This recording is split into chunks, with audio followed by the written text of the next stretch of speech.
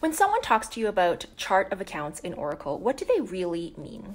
Hey, it's Cat from TutorAlly, and in this video, I am going to share with you a quick definition of chart of accounts and what they mean. First, what are they? The tr- term chart of accounts is not specific to any technology like Oracle or SAP or any other resource planning software for that matter. It is an accounting term that enables you to categorize all of your business transactions meaningfully. So you can have expenses that come in to your business as costs, or you can have things that produce money like revenue, or you can have stuff you own and stuff you owe like assets and liabilities. Your chart of accounts allows you to organize all of these transactions so that later on you can report on how well you're doing over a period of time.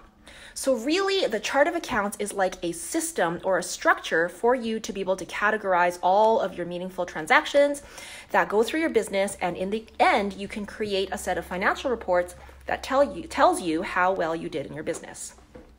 Generally, in a chart of accounts, you're going to see various different ways in which you can break down your information. And the first level of breakdown is generally called the organization or the business unit.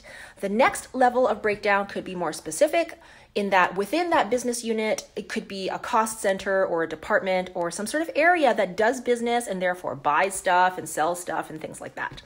This could be known as, as my, I mentioned, a cost center or a responsibility center or a department, whatever have you.